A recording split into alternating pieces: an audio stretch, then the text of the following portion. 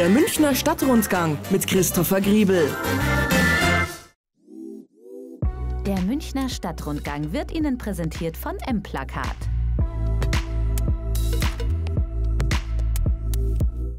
Damen und Herren, ich begrüße Sie heute ganz herzlich in Dachau auf der Festwiese zusammen mit dem Festreferent.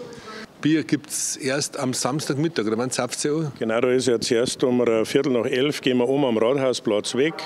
Da ist dann unser historischer Zug mit sehr vielen Vereinen.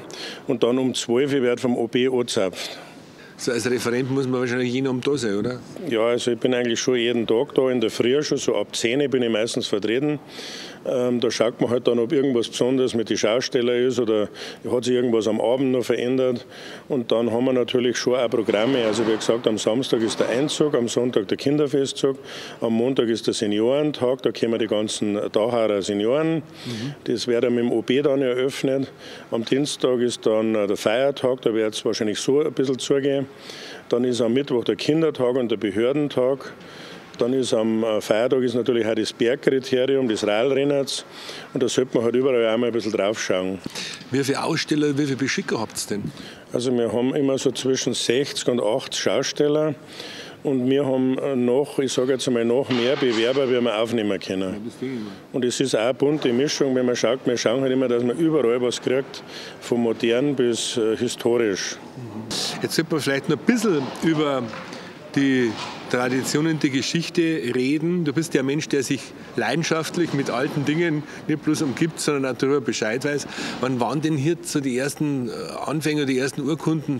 Wo steht denn drauf, dass der Volksfest gewesen ist? Wann ist es losgegangen? Also ursprünglich war das ja einmal so ein Pferderennen. Das ist ja vergleichbar mit dem Oktoberfest. Das ist ja 1810 durch diese Hochzeit entstanden. Und da war ja auch Pferderennen und eine äh, kleine Landwirtschaftsausstellung. Und bei uns kann man sagen, also die Erwähnung ist sicherlich schon vor 300, 400 Jahren mal passiert. Da war es aber kein richtiges Volkfest, da war ein Pferderennen. Und so, wie man jetzt heute die Volkfeste kennt, ich, wird das so ab 1860 so entstanden sein. Jetzt schauen wir draußen ein bisschen rum, damit Sie auch ein bisschen einen Eindruck kriegen. Ich finde es ja so nett. Hier laufen schon die ganze Zeit so Vater mit Sohn und Frau mit Kindern vorbei und dann schauen sie, ob die Plätze ja da sind, die sie äh, reserviert haben. Und dazu sehen wir uns dann gleich wieder. Sie suchen sich jetzt schon die Plätze aus, oder? Ja, haben wir eh schon. Wir haben schon Habt ihr eh schon?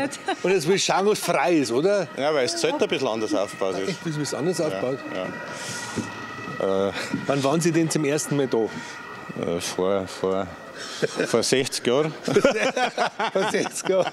Wie ist mir wie oft sind Sie dann so auf, auf dem Dachauer Volksfest, wenn es läuft? Jeden Tag, oder? Nicht, nicht ganz jeden. Man muss sicher jeden und ich ein bisschen weniger. Schaut, ob das Festzeit steht, oder? Ja, wir sind leider, also was heißt leider, wir sind jeden zweiten Tag schon jetzt seit einer Woche. Verfolgen wir das, wie jedes Geschäft so einzeln aufgebaut wird. Und dann rätseln wir, was kommt da noch hin und was kommt da noch hin. Ich verstehe schon. Und was hat jetzt dein größtes, deine größte Aufmerksamkeit erzeugt? Was möchtest du unbedingt dann in echt ausprobieren, jetzt nicht bloß beim Aufbau anschauen? Weißt du das schon? Also wie immer Autoscooter. Autoscooter. Ich liebe Autoscooter über alles. unglaublich. Also Autoscooter, dann natürlich äh, das Geisterhaus hier, das Okay. möchte ich auch mal ausprobieren. Oder diese Art Breakdance, ja.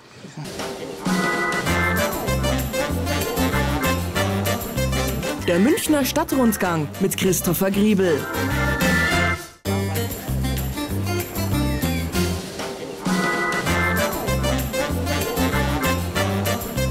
Der Münchner Stadtrundgang mit Christopher Griebel. Damen und Herren, ich begrüße Sie heute also in Dachau auf dem Volksfestplatz zusammen mit zwei gewichtigen Herren. Den haben wir schon kennengelernt. Und der hier, hier ist für die Verköstigung zuständig, oder? Kann Für die, sagen? für die Pfanne, für die Für die Pfanne, Pfanne. für die Vegetarier und für die Veganer sind wir seit 40 Jahren schon da.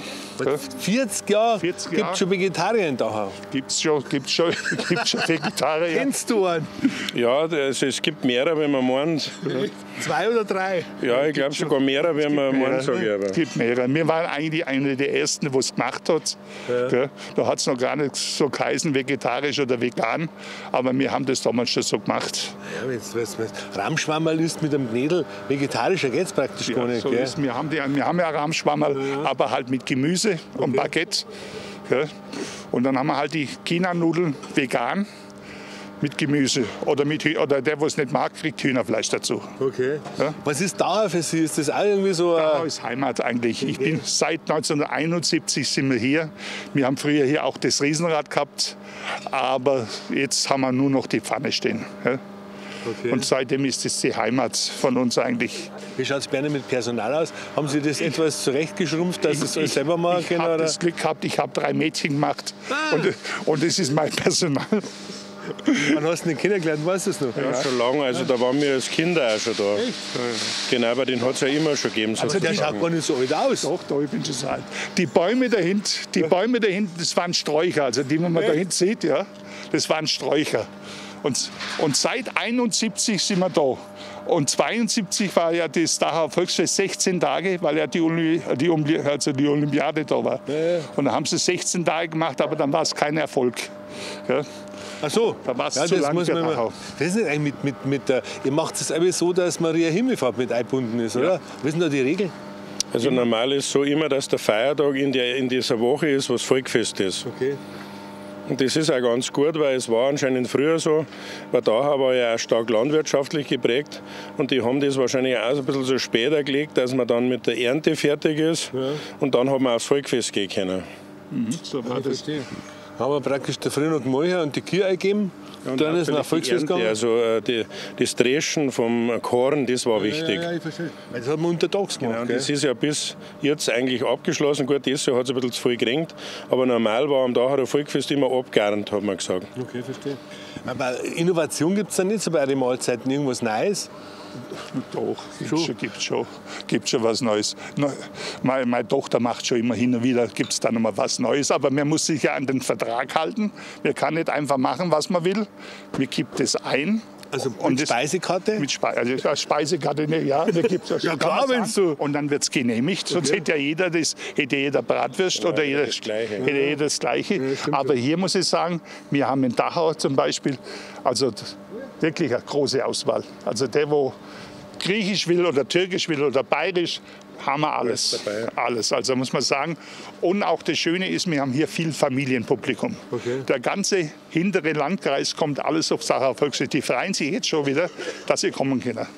Das wundert mich nicht. Und, und man muss sagen, und bei uns ist auch noch ein bisschen die Welt in Ordnung, auch von der Fahrpreise und von den von die, von die Preise her. Das muss man auch sagen. Jetzt haben wir zwar dieser, unser Dachauer Bier nicht mehr, dafür haben wir jetzt ein Augustinerbier, aber immer noch viel günstiger wie beim Oktoberfest. Ganz wichtiger Stand ist immer da, wo man schießen kann. Das ist also Apps, wo ich dann, ja, aber sie laden drüber. Da habe ich so die ersten großen Eindrücke bei irgendwelchen Klassenkammern, weil ich habe das schon immer gut kennen. Wie, wie lange sind Sie hier schon auf, der, auf dem Dauer Volksfest? Äh, 32, also meine Schwiegerleute waren auch schon da.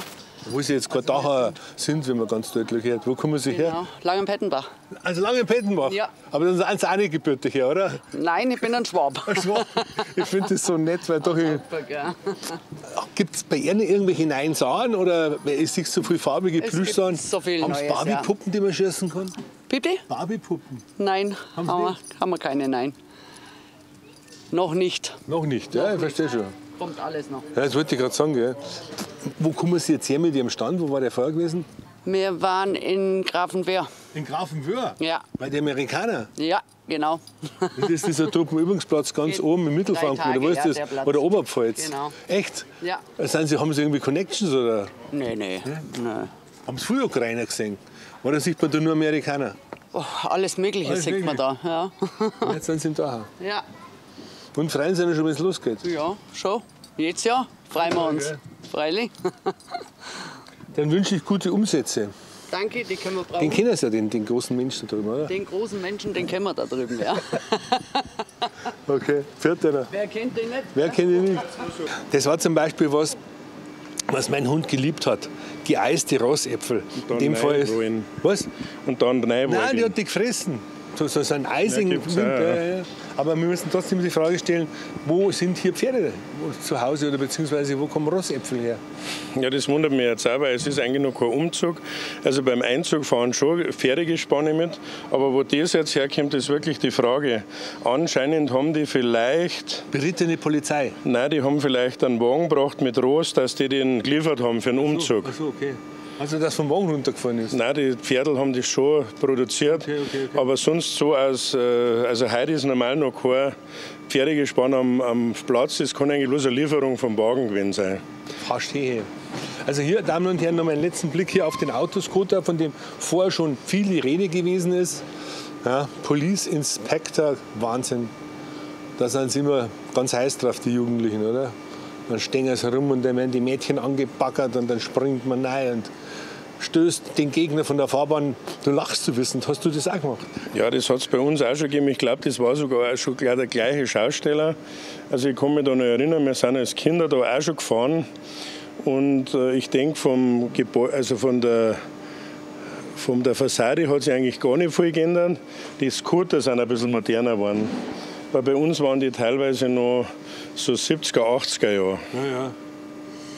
Da war so Opel Taunusen unterwegs gewesen oder VW Käfer, aber die hat es nie gegeben. Ich, komm jetzt, ich, ich weiß auch, das waren so, so, so, so, das sind so, richtig, so richtige Blechbüchsen halt, gell? aber sie sind gefahren. Aber sie sind genauso gefahren, ja. ja. Also, Damen und Herren, am Samstagmittag geht es hier in Dachau los. Und dann waren jetzt auch eine Woche lang ist das so, oder? Genau, das geht bis zum Montag drauf. Da ist dann der letzte Montag noch. Ist wieder Politik? Ist auch wieder, das ist am Dienstag, da kommt der Söder. Der Söder kommt? Söder in Dachau. Ich habe in Dachau zum ersten Mal politisch einen Helmut Kohl erlebt. Dann wollte ich ihn interviewen, haben wir eine von seinen Wachleuten über den Tisch drüber geschmissen, weil ich nicht angemeldet war. Wahnsinn! Ja, so das war ja eben, so geht's ihm. Ja. Aber ich habe dann trotzdem gesagt, okay, ich nehme es ihm nicht krumm, den Helmut. Er kann ja nichts dafür, dass es ihm so pressiert hat. Nein, der ist dann mit dem Auto nach äh, Fürstenfeldbruck am Flughafen gefahren und ist dann weiter, nach Ockersheim heimgeflogen. Samstag bis Sonntag, dann ist immer großes Brillantfeuerwerk. Wann ist das? Das müsste am Freitag sein, da müssen wir jetzt ins Programm reinschauen. Oder Donnerstag, ich glaube Donnerstag. Gibt ja im Internet einen Auftritt, da finden Sie alles alles, was das Herz begehrt, können Sie sich informieren. Ich bedanke mich ganz herzlich. Der liebe Robert muss jetzt auch gleich weiter. Der Mann geht ja, wie soll ich es richtig formulieren, auch einer anständigen Arbeit nach. Lieber Herr Gasteiger, danke, dass Sie die Zeit gefunden ja. haben.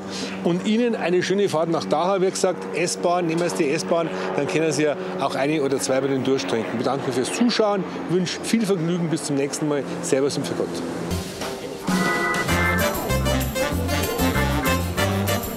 Das war der Münchner Stadtrundgang mit Christopher Griebel.